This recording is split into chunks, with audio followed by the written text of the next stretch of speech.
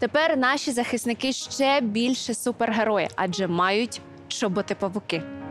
У порівнянні з нашими захисницями та захисниками людина павук будь-якої формації е, відпочиває. А я і не кажу, що воїни ЗСУ стали більше схожими на персонажів коміксів. Я кажу, що тепер вони ще більші супергерої, бо мають більше можливостей.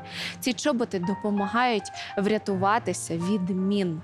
Це реально дуже цікаво дізнатися, яким чином, а ще хто їх придумав і де виготовляють. Давайте Давай дивитись. Давай. Сьогодні ми відправляємо нову партію наших захисного, нашого захисного взуття для наших хлопців. Харків'янин Ігор Єфименко разом з командою технологів на базі власного підприємства виготовляє протимінне взуття, яке рятує кінцівки саперам. Волонтери для саперів замовили декілька пар. Ми їх відвантажили, і в переписі написано: хлопець так стоїть ну, в, черев... в павуках цих наших, каже: дякую, завтра йду ну, на розмінування. І наступний день пише: е, там, хлопець підірвався. Е, нога зламана, але на місці. Дякую.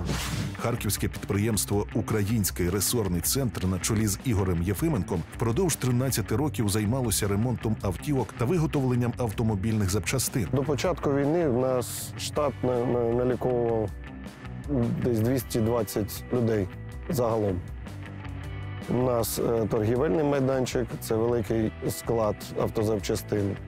Е, нас промис... ну, виробництво, ми виробляємо ресори. Коли Росія розпочала повномасштабне вторгнення, Ігор разом з тими працівниками, які залишилися в місті, повернулися до роботи. Попри постійні обстріли, чоловіки працювали, адже люди потребували допомоги. Перші ми відремонтували автобуси, ну, щоб вивозити людей. Безкоштовно і поза чергою ми ремонтували. Це були швидкі, пожежні авто, бензовози, ну, волонтерські вантажівки, ті, що ну, возили там їжу, там, одежу. Крім ремонту автівок, шукали автозапчастини, але одного дня дзвінок від офіцера поліції змінив напрямок роботи компанії. Він каже, нам ну, потрібні ресори, щоб ми їх різали і вставляли в броніки, допоміжний захист. У них був захист, але вони хотіли підвищити клас. Це було таке швидке рішення, скажімо так.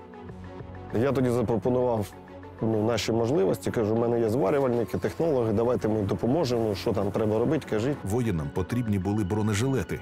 Ігор зрозумів, що потужностей його підприємства вистачить на власне виробництво. Відтоді волонтери виготовили сотні бронежилетів 4 і 5 класу захисту. А потім робили все, що просили захисники: шоломи, лопати та навіть глушники на різні види зброї. Дані глушники використовують сили спеціальних операцій та спецпризначенців.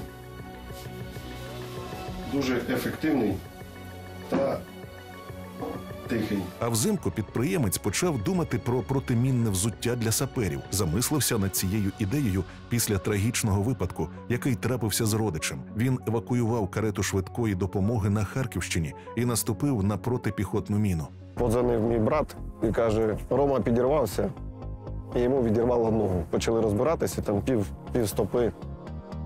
Як Рома розповідав, піднімає ногу, а пів кросовка вже нема. Шокований новиною, чоловік взявся за роботу. Спочатку працював над ідеєю створення броньованих устілок, однак процес виготовлення виявився складним, а сама устілка непрактичною. Пізніше сапери передали зразок протимінного взуття канадської компанії. За цим зразком, але за власною технологією, Ігор з командою розробили український аналог і назвали його павуки. Він виглядає зараз як е, таке взуття на чотирьох лапках, як у павучка.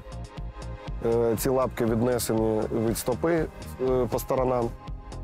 Е, далі нижній корпус, який має такий пологий, пологу форму для того, щоб розсіювати вибухову хвилю.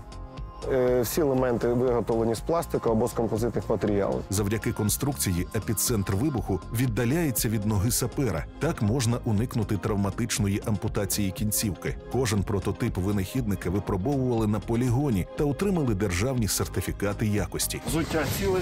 Ось це була права нога. П'ятка на місці. Трішки воно покоробило взуття. Ноги цілі, немає пошкоджень. Трошки вище є невеликі пошкодження від уламків. Ліва нога після взриву міни ПММ-2 зламана, але також на місці. зривалася на спереду. Взуття також ціле, пальці, п'ятки на місці. Для виготовлення павуків команда використовує 3D-принтери. Починали з одного пристрою. Тоді на виготовлення пари протимінного взуття потрібно було три тижні. Щоб пришвидшити виробництво, обладнали окремий цех, де зараз одночасно працюють 45 принтерів. Це така у нас лабораторія, ми її називаємо 3D-друку. Там є вже система кондиціонування, фільтрація воздуху. Там не все так легко, як е, в інтернеті, і здається, що принтер сам собі працює. Не працює він сам собі. Треба, щоб працювали разом з інженерами. Колективу вдалося збільшити об'єми виробництва. Зараз підприємство може виготовляти 12 пар протимінного взуття на день, і на цьому вони не зупиняться. В Ігоря і команди ще багато чудових ідей, які наближатимуть перемогу України.